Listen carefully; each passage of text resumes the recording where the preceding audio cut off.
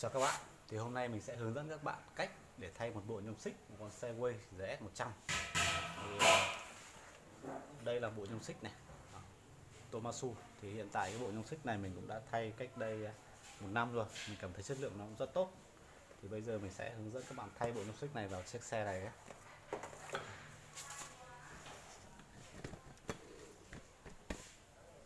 đầu tiên để thay bộ nhôm xích thì chúng ta sẽ tháo hết cái à, để chân này, với cả mang cá hộp xích ra và tháo bánh ra. Thì quá trình tháo thì mình sẽ hướng dẫn các bạn kỹ thuật.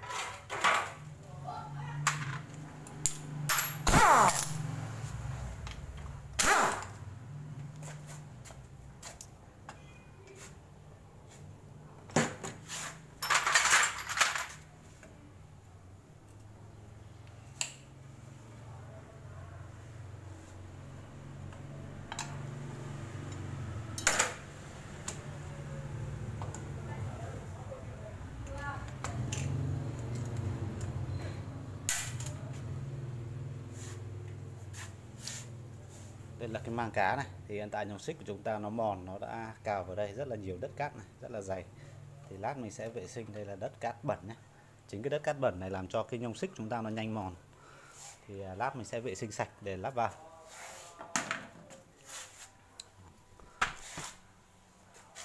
Thì mình cũng hướng dẫn các bạn chi tiết để cách để chúng ta có thể à, nhận biết là bộ nhông xích của chúng ta nó đã hỏng hay chưa. Thì đầu tiên là xe chúng ta đi nó sẽ kêu này và cái nhông xích này các bạn này nhìn rất là nhọn này.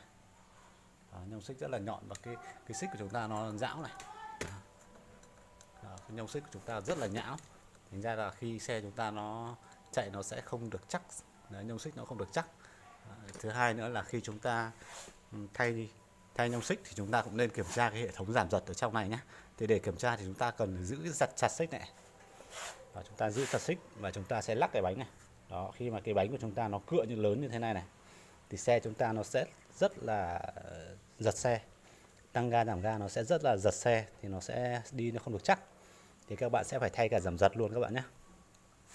Đó, thì đó, đó là cách khi chúng ta vừa tháo chúng ta vừa phải ban bệnh để chúng ta sẽ có hướng để à, thay bộ nhông xích và để đảm bảo cho bộ nhông xích của chúng ta nó hoạt định động nó ổn định và bền. Bây giờ mình sẽ tháo ra tiếp.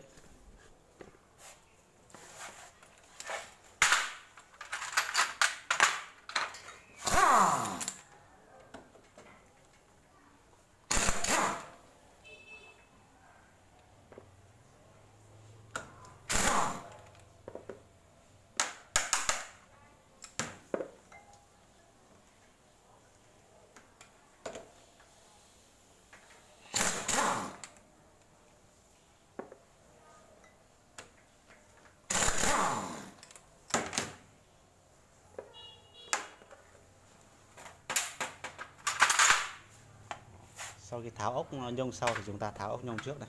Các bạn vào số này. Vào số. Sau đó chúng ta sẽ tháo hai con ốc ở trên ờ, nhông trước này.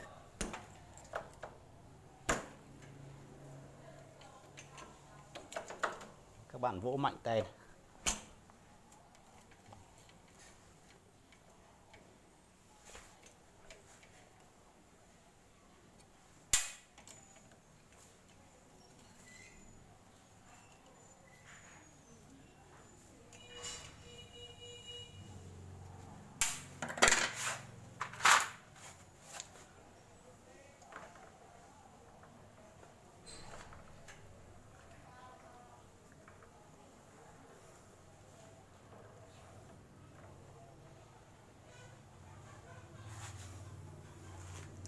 Sau đó chúng ta sẽ tháo xích các bạn nhé. Thì thường ở trên xích xe thì sẽ có một cái khóa nhưng mà hiện tại là chiếc xe này là chúng ta cũng đã người ta đã lắp trực tiếp nhé đột trực tiếp vào thành ra là không thấy khóa đâu.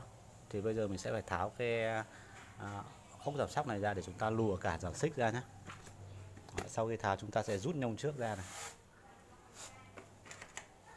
Thì nhông trước có một cái cái phanh hãm này. Thì các bạn sẽ phải tháo cái phanh hãm này ra trước này.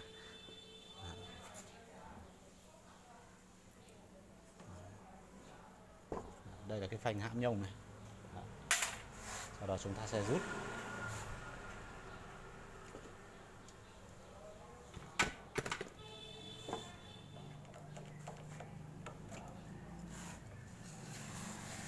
Thấy chưa? Chống xích của chúng ta nó còn gãy cụt thẳng cái đỉnh nhông này. Nhông của chúng ta nó đã gãy cụt rồi. Nên ra chúng ta đi nó sẽ rất là kêu nhông xích này nó sẽ có tiếng kêu cạch cạch cạch cạch này.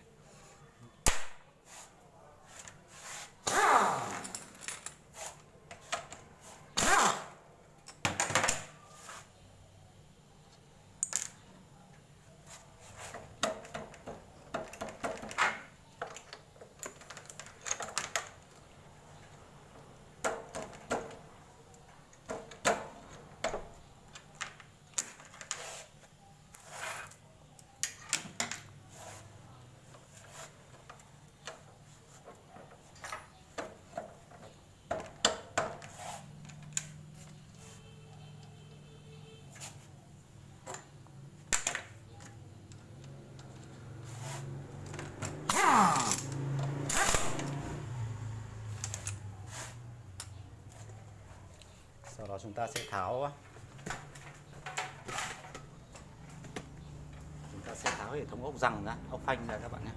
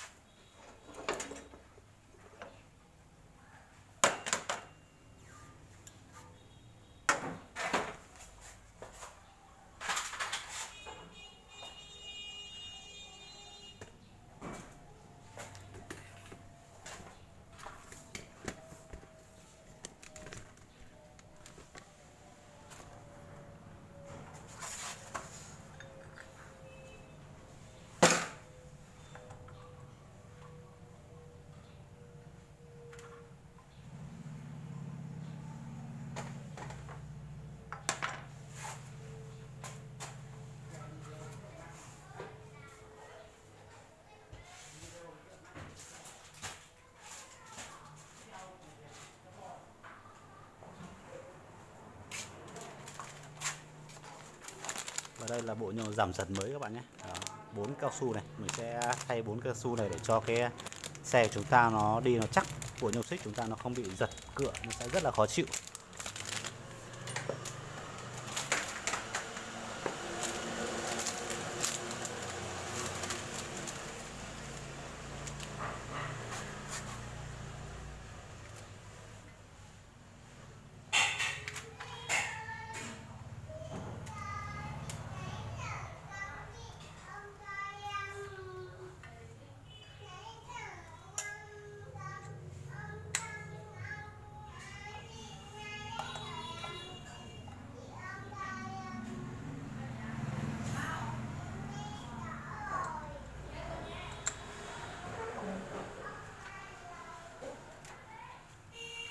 Sau khi thay vào thì cái cái nhông của chúng ta nó rất là chắc này, nó không có độ cựa nữa.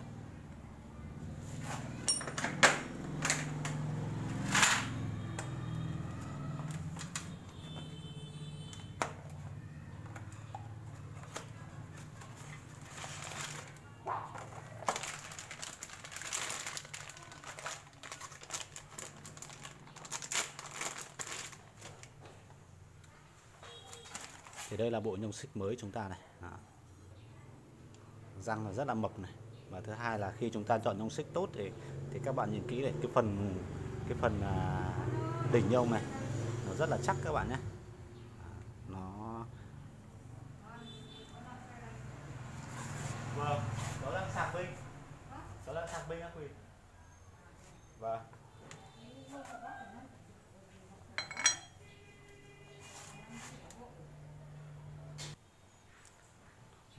Các bạn nhìn kỹ này ở cái phần đỉnh nhông này để ta tôi này. Đó ta tôi cái cái cái, cái lớp đỉnh nhông này để cho nó bền. Thành ra cái phần trong này không bao giờ hỏng á thì đa phần cái cái phần này nó sẽ tốt hay không là phần đỉnh nhông này.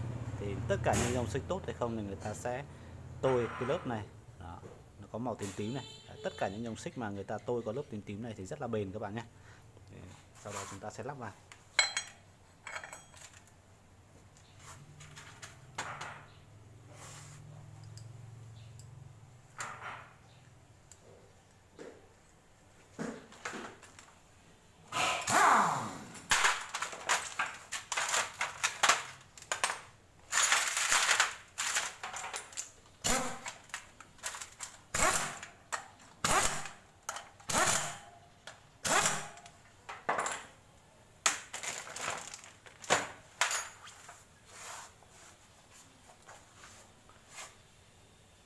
Giờ mình sẽ lắp lên trên các bạn nhé.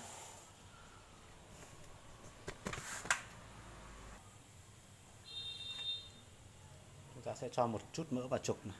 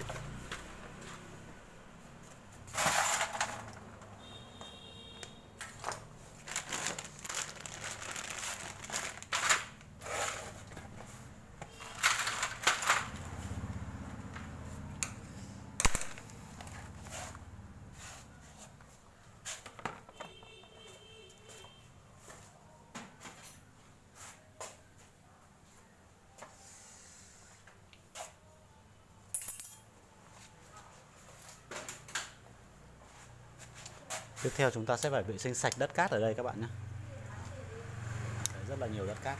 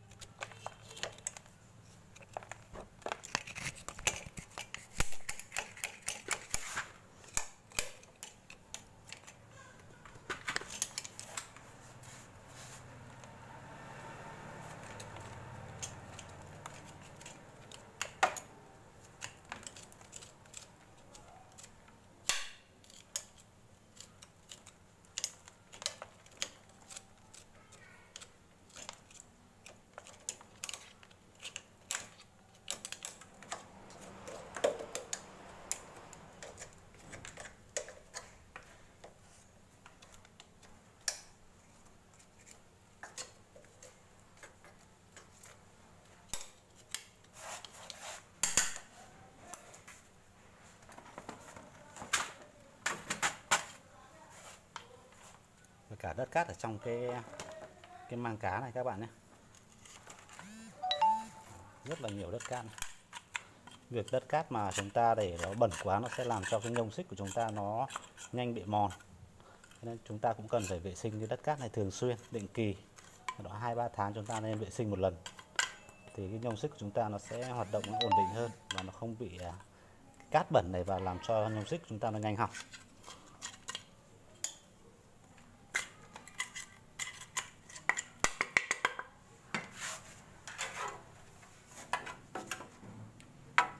Xích của chúng ta cũng vậy rất là nhiều đất khác.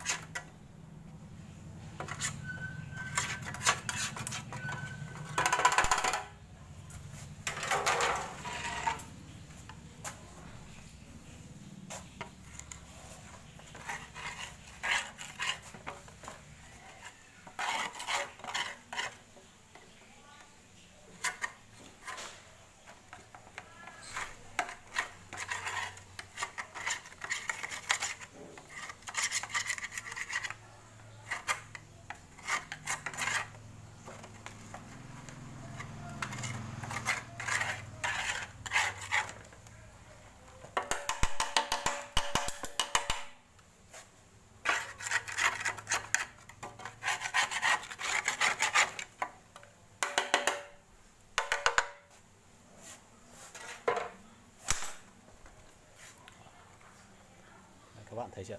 Đất cát rất là nhiều này. Rất là nhiều đất cát. Thì việc vệ sinh này làm cho nhông xích của chúng ta nó sẽ à, chạy cho nó sẽ bền hơn các bạn nhé.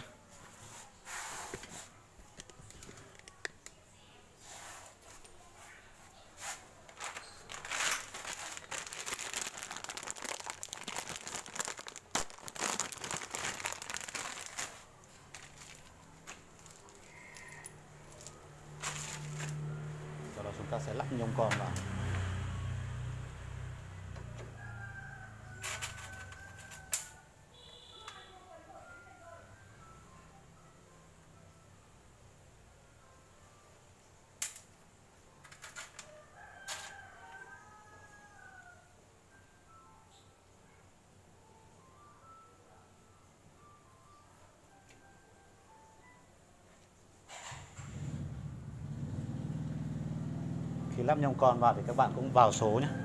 Các bạn vào số và chúng ta sẽ giữ cần khởi động để chúng ta sẽ à, vặn chặt ốc. Hãm nhông sau này ốc nhông trước này.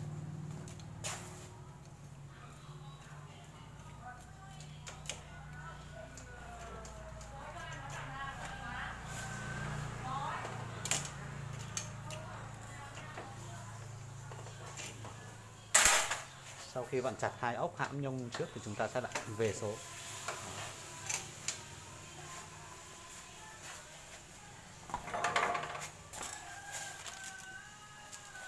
Đó chúng ta sẽ lắp xích vào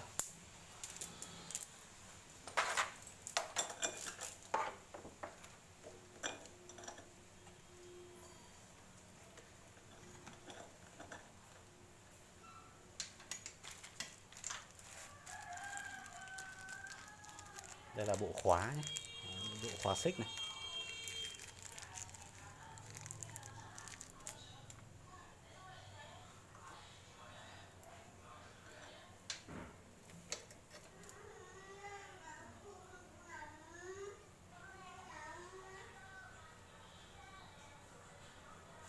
khi chúng ta lắp cái cái khóa xích này vào này đó, cái chốt khóa chúng ta sẽ lắp cái cái phần miệng khóa nó quay về phía trước các bạn nhé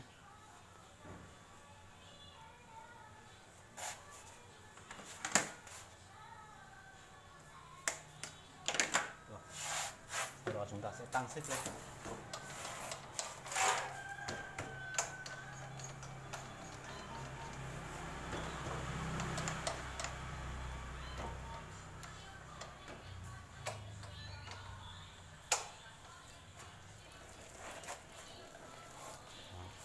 xích chúng ta quay nó ổn định này nó không bị nhảy tức là xích chúng ta rất là tốt này.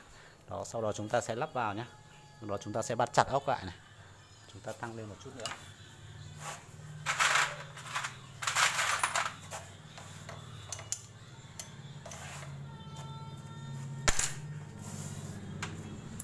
Khi chúng ta mà tăng xích ấy, thì việc tăng xích rất quan trọng. Thì các bạn nhìn kỹ này cái xích của chúng ta này khi chúng ta lắp vào nó phải chạy thẳng à, nhông và xích nhông trước nhông sau và xích nó phải chạy thành một đường thẳng. Đó thứ hai là khi mà cái đuôi này các bạn nhìn cái cái đuôi này với cả cái tâm bánh này nó phải thẳng nhau các bạn nhé. Đó, khi mà cái tâm bánh với cả cái đuôi này nó thẳng nhau thì cái xích chúng ta nó sẽ thẳng. Đó. hoặc thứ hai là khi các bạn à, để ý là khi chúng ta tăng xích vào thì các bạn nhìn kỹ này ở trên này có những cái vạch này. Đó, một vạch hai vạch này hơn hai vạch một chút này. Thì bên này các bạn cũng vậy. Các bạn cũng phải. Ở bên này nó có cái vạch này đó, thì chúng ta phải chừa một vạch hai vạch và hơn một chút này. Đó. Thì à, có những cái xe mà lâu ngày chạy lâu ngày hoặc thợ làm nó đứt cái, cái tăng xích này họ thay rồi thì nó sẽ lệch thì chúng ta sẽ phải nhìn thẳng vào cái tâm xích các bạn nhé. Đó nhìn thẳng tâm xích và tâm bánh này. Đó nó phải thẳng vào này. Đó và thứ ba nữa là các bạn nhìn cái cái má của cái lốp này so với cái chân chống giữa kìa. Đó hai bên nó phải cách cân nhau ra. Đó. Cái, cái chân chống giữa kìa chúng ta nhìn vào giữa là nó cách đều hai bên cái chân chống giữa, thì là thẳng các bạn nhé. Đây các bạn tâm bánh và cái à, tâm chắn đùm sau nó phải thẳng. Xích thẳng thì là ok. Chúng ta sẽ bắt chặt vào là xong các bạn nhé.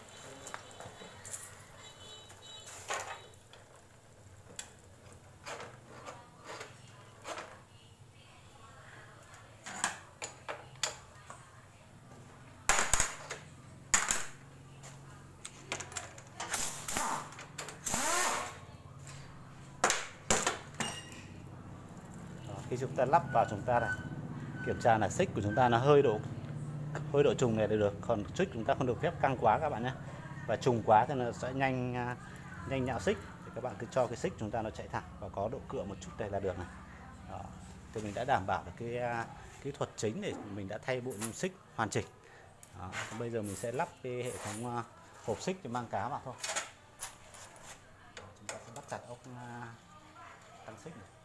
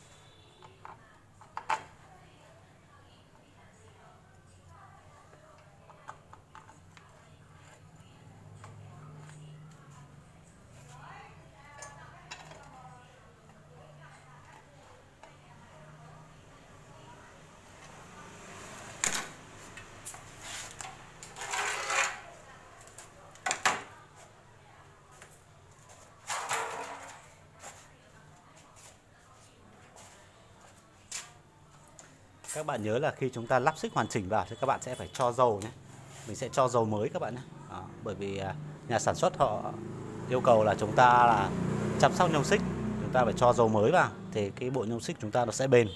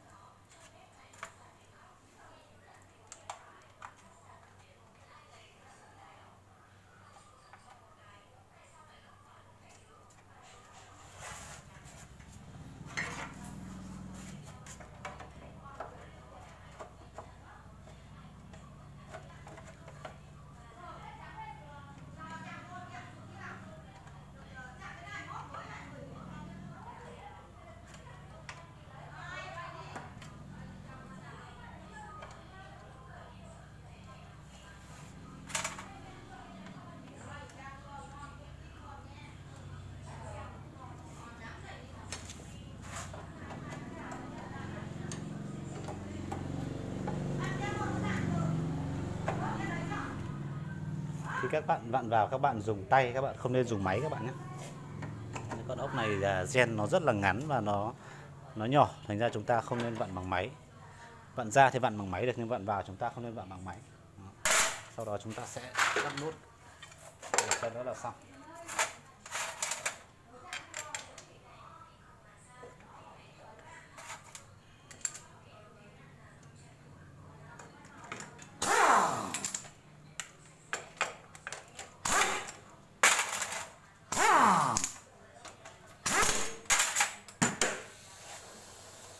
vậy là ok rồi mình đã hướng dẫn các bạn là cách thay bộ nhông xích. Đó những cái kỹ thuật cơ bản cũng là những điều cần biết khi chúng ta chơi nhông xích và chăm sóc nhông xích. Thì thường các bạn là thay nhông xích mới sau đó các bạn sẽ đi một thời gian ngắn thì xích chúng ta mới nó sẽ nhão ra thì chúng ta sẽ lại tăng lên. Sau khoảng độ à, nửa tháng chúng ta đi chúng ta sẽ tăng lên. Và quan trọng là khi chúng ta chăm sóc chúng ta phải tăng đều tay. Đó. Thì mình vừa hướng dẫn các bạn đấy chúng ta tăng, chúng ta để ý những cái vạch vạch trong hoặc là để ý cái à, tâm bánh và cả cái tâm à, chắn bùn sau nó thẳng là được. Và sau đó chúng ta sẽ cho dầu mới vào các bạn nhé. Các bạn cho dầu mới vào thì cái nhông xích chúng ta sẽ bền và nó nó sạch, nó không bị bẩn. Như là chúng ta cho dầu thải vào. Được cho dầu thải vào thì nó sẽ không tốt cho nhông xích chúng ta bởi vì nó sẽ bẩn và nó không còn độ bôi trơn mới. Nó sẽ nhanh khô nhông xích. Thì các bạn nên cho dầu mới các bạn nhé. Đó, thì mình đã hướng dẫn các bạn tất cả những gì mình à, cái kỹ thuật cũng như là những cách chăm sóc thì các bạn thấy video của mình hay thì các bạn hãy à, nhấn đăng ký kênh để ủng hộ mình. À, cảm ơn các bạn đã xem video. Chúc các bạn là thành công. Cảm ơn các bạn rất nhiều.